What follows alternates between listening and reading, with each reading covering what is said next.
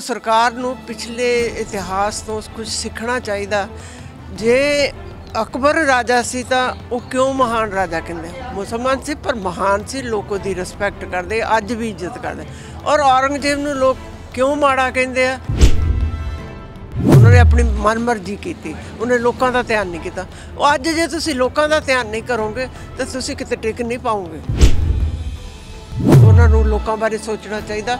ਲੋਕਾਂ ਨੇ ਉਹਨਾਂ ਨੂੰ ਬਣਾਇਆ ਆਪਣੇ ਭਲੇ ਲਈ। ਇਸ ਲਈ ਨਹੀਂ ਬਣਾਇਆ ਕਿ ਉਹਨਾਂ ਦੇ ਤੁਸੀਂ ਗਲ 'ਚ ਫਾਂਸੀ ਪਾ ਦਿਓ। ਹਾਲਾਂਕਿ ਆਪਰ ਸਾਡਾ ਕਲਚਰ ਇਹ ਆ ਹਿੰਦੁਸਤਾਨ ਦਾ ਵੀ ਕੋਈ ਦੁਸ਼ਮਣ ਦੀ ਵੀ ਜਦੋਂ ਡੈਥ ਹੁੰਦੀ ਆ, ਤਾਂ ਅਸੀਂ ਉਹਨਾਂ ਦੇ ਅਫਸੋਸ ਜ਼ਰੂਰ ਕਰਦੇ ਹਾਂ। ਤੇ ਸਰਕਾਰ ਸਾਨੂੰ ਕਿੱਦਾਂ ਵੱਡਾ ਦੁਸ਼ਮਣ ਸਮਝਣ ਲੱਗ ਪਈ ਕਿਸਾਨਾਂ ਨੂੰ ਵੀ ਤੁਸੀਂ ਅਫਸੋਸ ਵੀ ਨਹੀਂ ਕਰ ਸਕਦੇ। ਕਈ ਇਦਾਂ ਦੇ ਸ਼ਬਦ ਬੋਲਦੇ ਆ ਜਿਨ੍ਹਾਂ ਨੂੰ ਸੁਣ ਕੇ ਦੁੱਖ ਹੁੰਦਾ। ਵੀ ਸਾਡੀਆਂ ਸਰਕਾਰਾਂ ਜਿਹੜੇ ਕਹਿੰਦੇ ਘਰਾਂ 'ਚ ਵੀ ਤਾਂ ਉਹਨਾਂ ਦੇ, ਉਹਨਾਂ ਨੇ ਮਰਨਾ ਮਰਨਾ ਤਾਂ ਤੁਸੀਂ ਵੀ ਆ। ਤੁਸੀਂ ਜਿੰਦੇ ਰਹਿ ਜਾਣਾ। ਸਾਰਾ ਕੁਝ ਵੇਚ ਚੁੱਕੀ ਹੈ ਗਵਰਨਮੈਂਟ ਇਹ ਇੱਕ ਬਿਜ਼ਨਸਮੈਨ ਦੇ ਹੱਥ ਪ੍ਰਧਾਨ ਮੰਤਰੀ ਦੀ ਗੱਦੀ ਆਈ ਹੈ ਜੋ ਪ੍ਰਧਾਨ ਮੰਤਰੀ ਦੇ ਰਾਜ ਧਰਮ ਨੂੰ ਜਾਣਦਾ ਹੀ ਨਹੀਂ, ਜਿਹਨੂੰ ਪਤਾ ਹੀ ਨਹੀਂ ਵੀ ਇਹ ਜਿਹੜਾ ਪ੍ਰਧਾਨ ਮੰਤਰੀ ਦਾ ਕੀ ਫਰਜ਼ ਹੁੰਦਾ। ਜਿਹਦਾ ਰੇਲਵੇ ਵੇਚ ਦਿੱਤੀ 에어ਪੋਰਟ ਵੇਚ ਦਿੱਤੇ ਤੇਲ ਵੇਚ ਦਿੱਤਾ, ਬੈਂਕ ਵੇਚ ਦਿੱਤੇ, ਕੋਈ ਚੀਜ਼ ਬਾਕੀ ਨਹੀਂ ਬਚੀ। ਇਹ ਕਿਸਾਨੀ ਸੀ।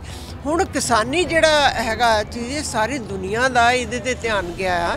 ਵੀ ਬਾਕੀ ਸਾਰੇ ਬਿਜ਼ਨਸ ਤਾਂ ਫੇਲ ਹੋ ਸਕਦੇ ਆ। ਕਿ ਪੈਟਰੋਲ ਦਾ ਵੀ ਉਹ ਕੱਢ ਰਿਹਾ ਵੀ ਇਹਦੇ ਨਾਲ ਪੋਲੂਸ਼ਨ ਬਹੁਤ ਆ। ਇਹ ਬਿਜ਼ਨਸ ਸਾਰੇ ਥੱਲੇ ਜਾ ਸਕਦੇ ਪਰ ਕਿਸਾਨੀ 'ਚ ਖਾਣਾ ਤਾਂ ਹਰੇਕ ਨੇ ਆ। 7 ਸਾਲ ਮੋਦੀ ਨੇ ਇਹਨੂੰ ਧਰਮ ਦੇ ਆਧਾਰ ਤੇ ਦੇਸ਼ ਨੂੰ ਵੰਡਣਾ ਚਾਹਿਆ। ਆ ਮੁਸਲਮਾਨ, ਹਿੰਦੂ, ਆ ਹਿੰਦੂ ਤਵ ਹਿੰਦੂ ਨਾ ਇਹ ਤੇ ਕਿਸੇ ਹਿੰਦੂ ਦਾ ਭਲਾ ਹੈ, ਨਾ ਕਿਸੇ ਹੋਰ ਕਿਸੇ ਜਾਤ ਦਾ ਭਲਾ ਹੈ। ਇਹ ਹਿੰਦੂਆਂ ਨੂੰ ਗੁੰਮਰਾਹ ਕਰਦੇ ਆ, ਹਿੰਦੂਆਂ ਨੂੰ ਆਪਣੇ ਲਈ ਵਰਤਦੇ ਆ, ਸਵਾਏ ਆਪਣੇ ਤੋਂ ਇਹਨਾਂ ਨੂੰ ਦੂਸਰੀ ਕਿਸੇ ਚੀਜ਼ ਦਾ ਨਹੀਂ ਪਤਾ। ਔਰ ਜੇ ਅਸੀਂ ਇਹ ਜਿੱਤਦੇ ਆ, ਤਾਂ ਸਾਡੀ ਹੋਂਦ ਬਾਕੀ ਆ। ਜੇ ਅਸੀਂ ਇਹ ਨਹੀਂ ਜਿੱਤਦੇ, ਤਾਂ ਸਮਝੋ ਹਿੰਦੁਸਤਾਨ 'ਚ ਸਭ ਕੁਝ ਖਤਮ ਹੈ। T5 ਚੈਨਲ ਦੇਖਣ ਵਾਲੇ ਸਾਰੇ ਦਰਸ਼ਕਾਂ ਦਾ ਮੈਂ ਸੰਜੀਵ ਕੁਮਾਰ ਸਵਾਗਤ ਕਰਦਾ ਹਾਂ। ਅੱਜ ਅਸੀਂ ਤੁਹਾਨੂੰ ਮਿਲਵਾਉਣ ਜਾ ਰਹੇ ਹਾਂ ਸ਼ਹੀਦ ਭਗਤ ਸਿੰਘ ਦੀ ਭਾਂਜੀ ਨੂੰ, ਜਿਹੜੇ ਇਸ ਅੰਦੋਲਨ ਦੇ ਵਿੱਚ ਆਏ ਨੇ, ਉਹਨਾਂ ਨਾਲ ਗੱਲ ਕਰਦੇ ਹਾਂ। ਕੀ ਕਹਿਣਾ ਉਹਨਾਂ ਦਾ? ਜਿਸ ਤਰ੍ਹਾਂ ਜੀ ਤੁਸੀਂ ਅੱਜ ਇਸ ਅੰਦੋਲਨ ਦੇ ਵਿੱਚ ਆਏ ਹੋ, ਕੀ ਕਹਿਣਾ ਚਾਹੋਗੇ ਮੋਦੀ ਸਰਕਾਰ ਨੂੰ? ਮੋਦੀ ਸਰਕਾਰ ਨੂੰ ਜੋ ਕਹਿਣਾ, ਉਹ ਸਾਡੀਆਂ ਜਥੇਬੰਦੀਆਂ ਤਾਂ ਦੱਸ ਹੀ ਰਹੀਆਂ। ਪਰ ਇੱਕ ਚੀਜ਼ ਮੋਦੀ ਸਰਕਾਰ ਨੂੰ ਇਹ ਕਹਿਣਾ ਚਾਹੁੰਦੇ ਜੋ ਵੀ ਡਿਕਟੇਟਰ ਹੋਇਆ, ਉਹਨੂੰ ਅਖੀਰ ਲੋਕਾਂ ਸਾਹਮਣੇ ਝੁਕਣਾ ਪਿਆ। ਜੇ ਆਪਾਂ ਇਹਨਾਂ ਨੂੰ ਸਰਕਾਰ ਨੂੰ ਪਿਛਲੇ ਇਤਿਹਾਸ ਤੋਂ ਕੁਝ ਸਿੱਖਣਾ ਚਾਹੀਦਾ, ਜੇ ਅਕਬਰ ਰਾਜਾ ਸੀ ਤਾਂ ਉਹ ਕਿਉਂ ਮਹਾਨ ਰਾਜਾ ਕਹਿੰਦੇ ਮੁਸਲਮਾਨ ਸੀ, ਪਰ ਮਹਾਨ ਸੀ, ਲੋਕ ਉਹਦੀ ਰਿਸਪੈਕਟ ਕਰਦੇ, ਅੱਜ ਵੀ ਇੱਜ਼ਤ ਕਰਦੇ। ਔਰ ਔਰੰਗਜ਼ੇਬ ਨੂੰ ਲੋਕ ਕਿਉਂ ਮਾੜਾ ਕਹਿੰਦੇ ਆ? ਕਿ ਉਹਨੇ ਜੋ ਡਿਕਟੇਟਰਸ਼ਿਪ ਕੀਤੀ ਸੀ, ਉਹਨਾਂ ਨੇ ਆਪਣੀ ਮਨਮਰਜ਼ੀ ਕੀਤੀ, ਉਹਨੇ ਲੋਕਾਂ ਦਾ ਧਿਆਨ ਨਹੀਂ ਕੀਤਾ। ਉਹ ਅੱਜ ਜੇ ਤੁਸੀਂ ਲੋਕਾਂ ਦਾ ਧਿਆਨ ਨਹੀਂ ਕਰੋਗੇ, ਤਾਂ ਤੁਸੀਂ ਕਿਤੇ ਟਿਕ ਨਹੀਂ ਪਾਓਗੇ। ਚਾਹੇ ਤੁਸੀਂ ਲੱਖ ਬੇਈਮਾਨੀਆਂ ਦੇ ਤਰੀਕੇ ਅਪਣਾ ਲਓ, ਤੁਸੀਂ ਲੱਖ ਈਵੀਐਮ ਨੂੰ ਰੱਖ ਲਓ, ਉਹ ਉਹ ਵੀ ਕੋਈ ਸਹੀ ਤਰੀਕਾ ਨਹੀਂ ਹੈਗਾ, ਲੋਕ ਇਹਦੇ ਲਈ ਵੀ ਉੱਠ ਪੈਣਗੇ ਵੀ ਅਸੀਂ ਨਹੀਂ ਈਵੀਐਮ ਨਾ ਦੇਣੇ ਆ। ਕਿਉਂ ਇਹ ਜਿਹੜਾ ਨੇ ਈਵੀਐਮ ਤਿਆਰ ਕੀਤਾ, ਉਹ ਕੋਈ ਵੀ ਐਡਵਾਂਸ ਕੰਟਰੀ ਇਹਨੂੰ ਨਹੀਂ ਯੂਜ਼ ਕਰ ਰਿਹਾ, ਕਿਉਂਕਿ ਉਹਨਾਂ ਨੂੰ ਇਹਨਾਂ ਦੇ ਲੋ ਪੂਲ ਪਤਾ ਹੈ। ਔਰ ਜੇ ਸਰਕਾਰ ਇਸ ਚੀਜ਼ ਤੇ ਗੁਮਾਨ ਕਰਕੇ ਬੈਠੀ ਆ ਵੀ ਅਸੀਂ ਇਦਾਂ ਇਲੈਕਸ਼ਨ ਜਿੱਤ ਲੈਣੀ ਹੈ, ਸਾਨੂੰ ਲੋਕਾਂ ਦੀ ਲੋੜ ਨਹੀਂ, ਤੇ ਉਹਦੀ ਗਲਤਫਹਿਮੀ ਆ। ਜਦੋਂ ਲੋਕ ਉੱਠਦੇ ਆ, ਕੋਈ ਵੀ ਚੀਜ਼ ਉਹਨਾਂ ਨੂੰ ਰੋਕ ਨਹੀਂ ਸਕਦੀ। ਉਹ ਲੰਬੀ ਲੜਾਈ ਲੜਨੀ ਪਊਗੀ, ਤਕਲੀਫਾਂ ਸਹਿਣੀਆਂ ਪੈਣਗੀਆਂ ਲੋਕਾਂ ਨੂੰ, ਤੇ ਲੇਕਿਨ ਉਹ ਜਿੱਤ ਕੇ ਹੀ ਜਾਣਗੇ। ਤੇ ਸਰਕਾਰ ਦੇ ਅੱਗੇ ਬੇਨਤੀ ਹੈ ਜਾਂ ਰਿਕੁਐਸਟ ਹੀ ਕਰਦੇ ਵੀ ਅਜੇ ਵੀ ਟਾਈਮ ਹੈ, ਉਹਨਾਂ ਨੂੰ ਲੋਕਾਂ ਬਾਰੇ ਸੋਚਣਾ ਚਾਹੀਦਾ। ਲੋਕਾਂ ਨੇ ਉਹਨਾਂ ਨੂੰ ਬਣਾਇਆ ਆਪਣੇ ਭਲੇ ਲਈ। ਇਸ ਲਈ ਨਹੀਂ ਬਣਾਇਆ ਕਿ ਉਹਨਾਂ ਦੇ ਤੁਸੀਂ ਗਲ 'ਚ ਫਾਂਸੀ ਪਾ ਦਿਓ। ਇਹ ਜਿਹੜਾ ਤਿੰਨ ਕਾਨੂੰਨ ਹੈਗੇ ਇਹ ਜ- ਕਿਸਾਨ ਕਹਿੰਦਾ ਵੀ ਮੇਰੇ ਗਲ 'ਚ ਫਾਂਸੀ ਦਾ ਫੰਦਾ ਹੈ, ਮੈਂ ਇਹ ਨਹੀਂ ਪਾਉਣਾ। ਤੁਸੀਂ ਕਹਿੰਦੇ, ਨਹੀਂ, ਇਹ ਤੂੰ ਪਾ, ਤੇਰੇ ਲਈ ਭਲਾ ਹੈ। ਤਾਂ ਜਿਸ ਕਿਸਾਨ ਕਹਿੰਦਾ ਮੈਂ ਮਰ ਰਿਹਾ ਇਹ, ਇਸ ਕਾਨੂੰਨ ਦੇ ਵਿੱਚ ਜਾ ਕੇ, ਤਾਂ ਤੁਹਾਨੂੰ ਤੁਸੀਂ ਦੱਸੋ ਵੀ ਇਹਨਾਂ ਕਾਨੂੰਨਾਂ ਨੂੰ ਵਾਪਸ ਕਰਨ 'ਚ ਦੇਸ਼ ਦਾ ਕੀ ਨੁਕਸਾਨ ਹੋ ਜਾਣਾ।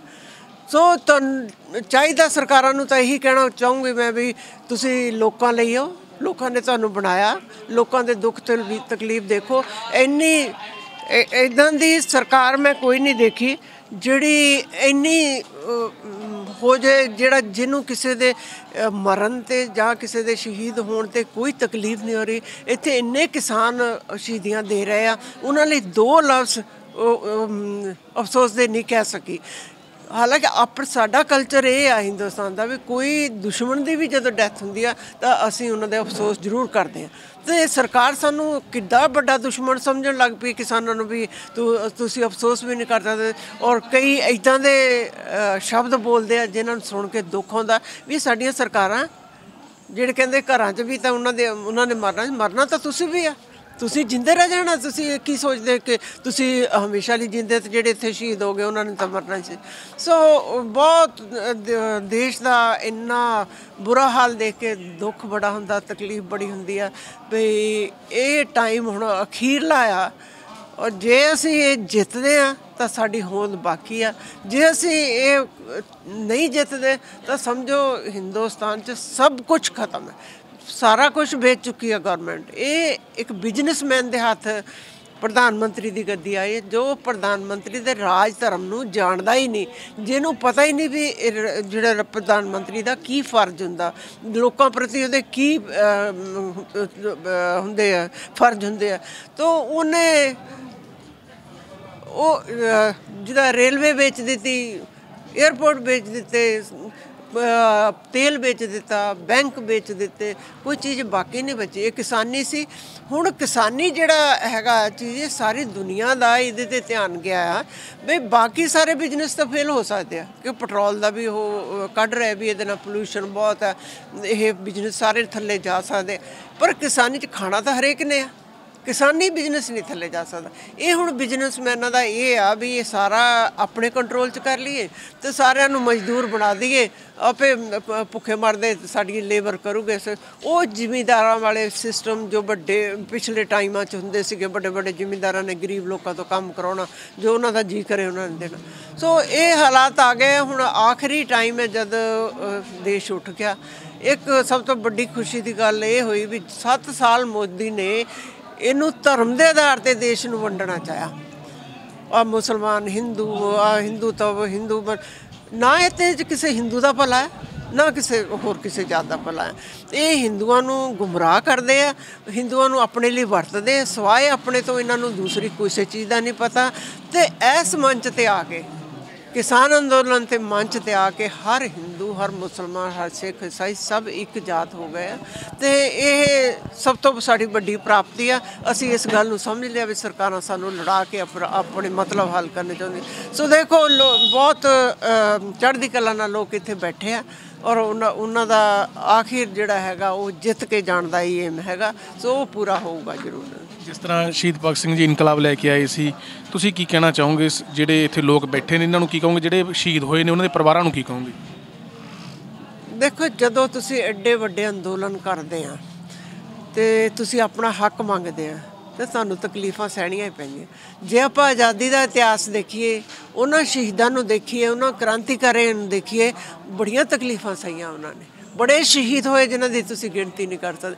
ਇੰਨੇ ਲੋਕਾਂ ਨੇ ਜਿਹੜੇ ਸਾਹਮਣੇ ਆਏ, ਉਹ ਉਹ ਤਾਂ ਵੱਖਰੇ ਆ, ਜਿਹੜੇ ਪਿੱਛੇ ਉਹਨਾਂ ਦੇ ਜਿ- ਜਿਨ੍ਹਾਂ ਦਾ ਨਾਮ ਵੀ ਨਹੀਂ ਆਉਂਦਾ, ਉਹਨਾਂ ਦੀਆਂ ਤਕਲੀਫਾਂ ਜੇ ਕਦੇ ਤੁਹਾਨੂੰ ਟਾਈਮ ਮਿਲੇ ਤਾਂ ਦੇਖੋ।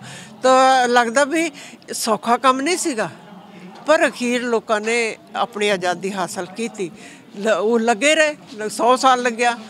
ਲ- ਲੜ ਕੇ ਲੜਾਈ ਇਹ ਕਿ ਹੁਣ ਤੋਪ ਤੀਰ ਤਲਵਾਰ ਦੀ ਤਾਂ ਨਹੀਂ ਰਹਿ ਗਈ। ਹੁਣ ਲੜਾਈ ਹੈ ਤੁਹਾਡੇ ਪ੍ਰੈਸ਼ਰ ਦੀ। ਜਿੰਨੇ ਲੋਕ ਆਪਣੇ ਹੱਕ ਲਈ ਉੱਠਣਗੇ ਜਿੰਨੇ ਲੋਕ ਜ਼ਿਆਦਾ ਇਕੱਠੇ ਹੋਣਗੇ, ਉਹਨਾਂ ਸਰਕਾਰਾਂ ਤੇ ਪ੍ਰੈਸ਼ਰ ਪੈਂਦਾ, ਤੇ ਉਹਨਾਂ ਨੂੰ ਅਖੀਰ ਗੱਲ ਮੰਨਣੀ ਪੈਂਦੀ ਹੈ।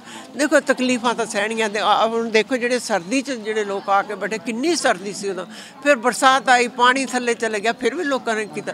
ਹੁਣ ਗਰਮੀ ਆ ਗਈ, ਲੋਕ ਆਪਣਾ ਇੰਤਜ਼ਾਮ ਕਰ ਇਸ ਅੰਦੋਲਨ ਨੂੰ ਕਿਸੇ ਨੇ ਨਹੀਂ ਚਲਾਇਆ, ਲੋਕਾਂ ਨੇ ਆਪ ਚਲਾਇਆ, ਹਰ ਚੀਜ਼ ਆਪ ਕੀਤੀ ਆ, ਔਰ ਉਹ ਜਦੋਂ ਆਪ ਕਰਨ ਲੱਗ ਜਾਂਦੇ ਤਾਂ ਉਹਨਾਂ ਨੂੰ ਕੋਈ ਹਿਲਾ ਨਹੀਂ ਸਕਦਾ। ਸੋ ਉਹ ਜਿੱਤ ਕੇ ਹੀ ਜਾਣਗੇ।